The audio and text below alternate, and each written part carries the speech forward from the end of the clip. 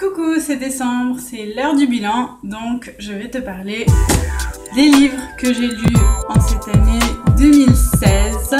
Pour la petite anecdote personnelle, moi je suis quelqu'un qui n'aime pas lire du tout parce que problème de vue quand j'ai appris à lire, alors du coup j'ai mis très longtemps à lire, je lis très lentement et euh, j'ai pas encore lu le livre pour euh, passer à la lecture rapide, mais ça fait partie des objectifs 2017. Euh, cette année, j'ai eu beaucoup de chance, j'ai eu beaucoup de temps pour moi et du coup, j'ai pu lire des livres et je voudrais en fait juste partager cette vidéo pour te décomplexer si tu es comme moi et que tu as du mal à lire des livres on a l'impression que lire des livres, c'est forcément des trucs, machin et tout. Et en fait, un jour, je me suis mise à compter les livres que j'ai lus dans l'année. Et puis, euh, j'ai envie de te dire, tu vois ça là Madame Lumineuse, Madame Lumineuse.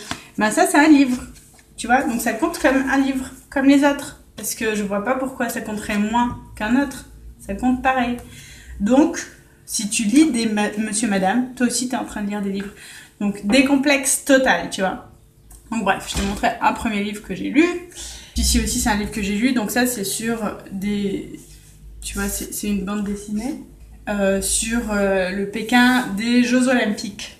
Qui, euh, qui, ben moi, ça me fait voyager. Ça me fait du bien de lire aussi des livres comme ça pour se détendre un petit peu. Alors, qu'est-ce qu'on a lu cette année Cette année, alors moi, j'ai commencé par le livre La magie du rangement de Marie Kondo qui est un livre fantastique que j'ai acheté pour offrir à ma belle-mère, mais que j'ai lu vite fait en italien en plus. Donc en fait, je sais lire en italien. Pourquoi je dis que je sais pas lire en italien? Et euh, le fait de l'avoir lu comme ça juste avant de lui offrir, ça m'a permis de garder quelques concepts, notamment le fait de remercier mes vêtements en fin de journée avant de les replacer à leur place. Euh, ça m'a permis de ramener la gratitude en fait dans ma vie. Et du coup ça a commencé à j'ai commencé à aller vachement mieux au niveau de mon moral euh, tout simplement en remerciant mes chaussures le soir. Voilà ça c'est vraiment euh, le livre c'est un, un livre hyper à la mode aux états unis un peu partout maintenant. Marie Kondo. Ensuite qu'est-ce que j'ai lu cette année? Je sais pas trop par où commencer en fait hein. Euh, bon, Paolo Coelho, je t'ai déjà fait euh, une vidéo sur le sujet. L'évangile en italien, alors que l'année dernière c'était l'évangile en chinois. Hein. On s'éclate.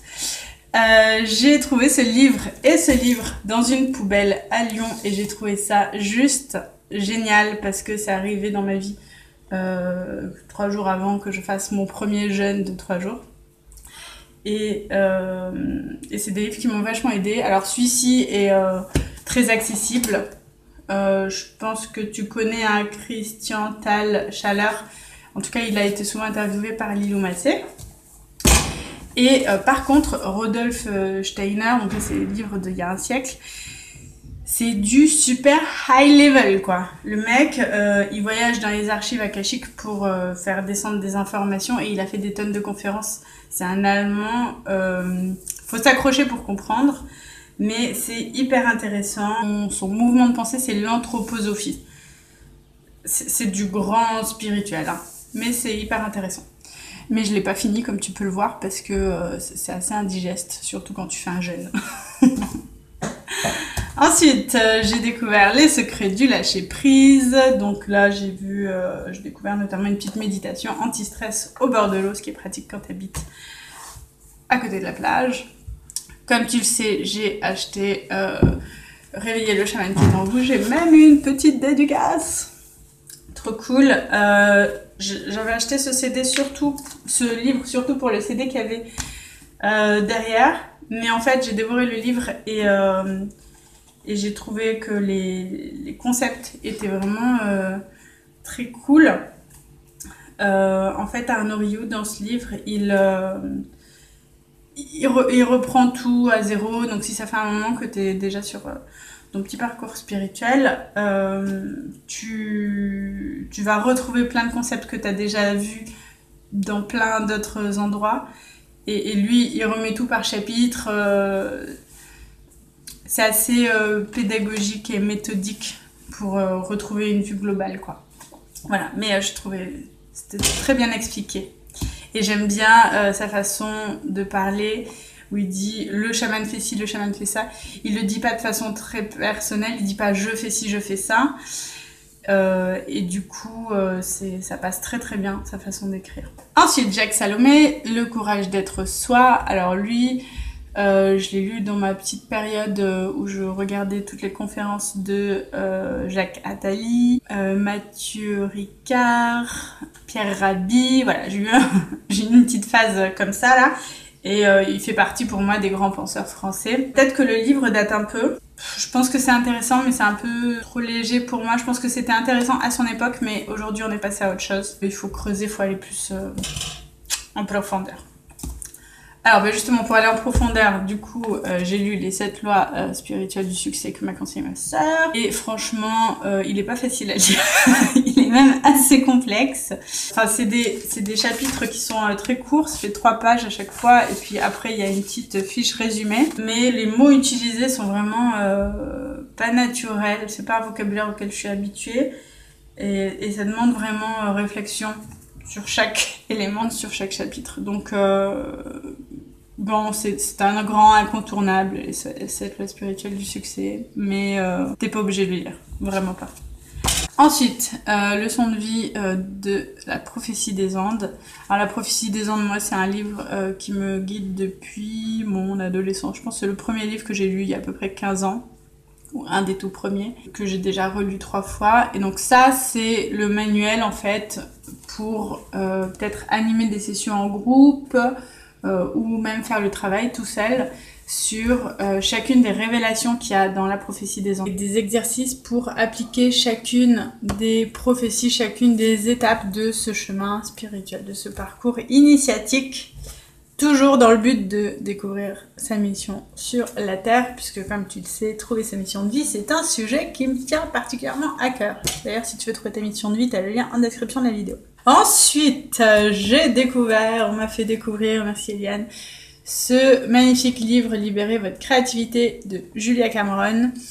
Euh, donc qui est un programme de 12 semaines. J'ai déjà fait plein de vidéos sur le sujet, donc tu euh, retrouveras ça sur ma chaîne. Mais c'est un euh, livre qui change la vie. J'ai eu la cuisine napolitaine, très important parce que cette année du coup j'ai fait ressortir la cuisinière qui est en moi, qui est une cuisinière qui cuisine très très bien, mais qui a un petit peu du mal à s'exprimer dans un pays si fort en caractère et en goût et en sel et en piquant et en huile d'olive.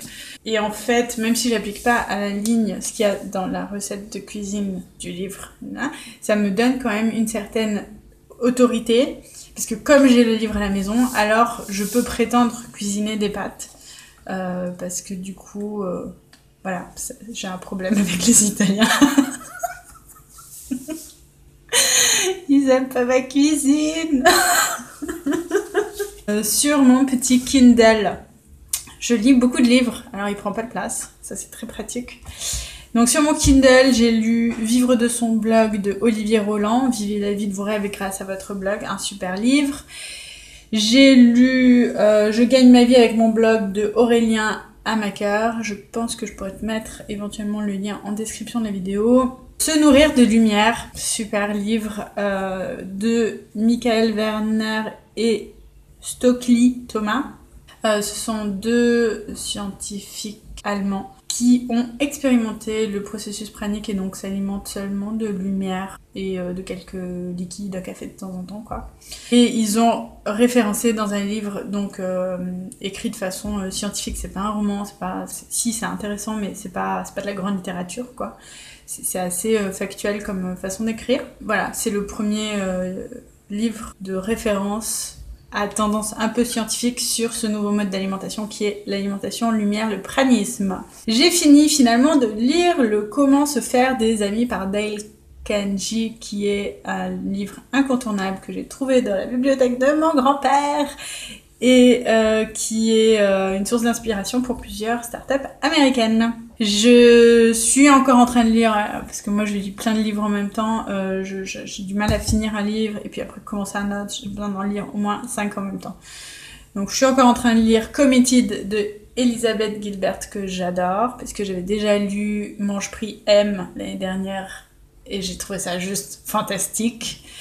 Euh, parce que ça se passe notamment en Italie avec la bouffe. L'Italie pour moi c'est aussi un pays qui représente euh, l'amour et euh, la prière, donc plein de choses. Les 5 blessures de l'âme, je vais pas te refaire une photo, tu as vu toute ma série de vidéos sur les 5 blessures de l'âme, donc c'est aussi un livre que j'ai lu cette année. Le pouvoir des habitudes de Charles Duhigg. Je fais aussi des vidéos sur les habitudes, donc c'est vrai que c'est un livre qui mène, qui qui t'apporte beaucoup de réflexion sur euh, bah, toutes les habitudes conscientes et inconscientes que nous avons dans notre vie. The Prosperous Coach, donc c'est un livre euh, de coaching qui, euh, qui est très intéressant, très, très structurant. Donc là aussi je l'ai lu en anglais, il y a plusieurs livres que je lis en anglais, d'autres un peu en italien. J'ai pas lu en espagnol cette année. Ensuite, je t'avais déjà fait une vidéo sur Et si la vie c'était plus que ça? Donc ça c'était un petit livre gratuit que j'avais eu à une conférence TED, euh, toujours sur le sens de la vie. Euh, je t'ai aussi fait une vidéo sur euh, la vérité sur ce qui nous motive. J'aime bien ces livres sur le travail, le management, la sociologie du travail. Je trouve ça tout ça passionnant. J'ai Ensuite, acheter, commencer un petit peu euh, les mémoires akashiques de Don Ernesto Ortiz, qui est une vidéo que j'ai publiée récemment, puisque j'ai donc été voir sa conférence à Pau, au Symposium International, mais j'ai pas du tout fini de le lire, j'ai à peine lu l'introduction. Et donc finalement, je termine l'année sur Laurent Gounel, que je n'avais encore jamais lu et qui est apparemment un grand incontournable dans mes sujets de prédilection. Et tu trouveras le trésor qui est en toi. Ce livre est absolument très très bien écrit euh, je le lis hyper rapidement. J'ai lu la moitié en une soirée, chose qui ne m'est absolument jamais arrivée. Parce qu'en fait, ce qui est génial, c'est que chaque chapitre fait trois pages. Donc en fait, on a toujours envie de, de lire le chapitre d'après. J'ai envie de dire, c'est aussi bien écrit qu'un Harry Potter, quoi. On n'a pas du tout envie de s'arrêter, jamais. Et donc ça, c'est l'histoire de, deux amis d'enfance, l'un qui est prêtre, qui est un peu désespéré de n'avoir que 12 euh, paroissiens. Elle, elle est euh, directrice de communication dans une tour à Paris. Et euh, elle va l'aider du coup à avoir plus de fidèles dans son église. Et donc bien entendu, elle va découvrir en tant qu'athée qu'est-ce que c'est euh, le christianisme et euh, quel est le sens des paroles de Jésus. C'est très intéressant. Donc je vais terminer l'année sur Laurent Gounel, je pense, ou peut-être sur Committed de Elisabeth Gilbert. Alors toi, qu'est-ce quels ont été tes livres cette année? Qu'est-ce que est-ce que tu as lu des livres qui ressemblent un petit peu à tout ça? Est-ce que tu as des livres que tu souhaites me conseiller? Quels sont euh, les livres que tu as prévu de lire l'année prochaine? Dis-moi, fais-moi signe. à bientôt, ciao ciao.